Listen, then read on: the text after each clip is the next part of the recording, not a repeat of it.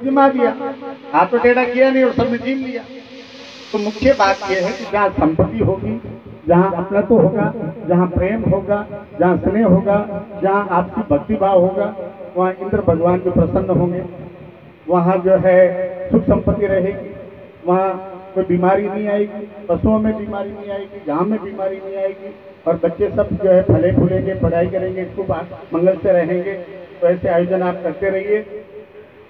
और इस मंदिर के जीर्णोद्धार के लिए जो भी मेरी सेवा है जो मैं मुली महाराज को जो है नज़र कर दूँगा। हाँ, आप सभी के दर्शन के लिए मैं बहुत बहुत धन्यवाद। मेरी मजबूरी ये है कि ऐसे भक्तिमय माहौल में मुझे भी बैठना चाहिए लेकिन कोई अजमेर में कोई एडमिट है हॉस्पिटल में। उनके लिए मुझे जाना था। मुरली महाराज ने कहा पाँच मिनट के लिए आप आके जाओ तो अजमेर जाते हुए इधर मैं महाराज के दर्शन करके मंदिर जाके और भाई लोगों के सबके दर्शन करके फिर निकलूँगा। तो बहुत बहुत धन्यवाद, आप सबके दर्शन के लिए। मेरी गैर हाजिरी का माफ़ करना, वरना मैं आपके साथ बैठता और जो भी मंदिर के लिए जो आप मैं करके जाऊँगा, धन्यवाद, जय हिंद।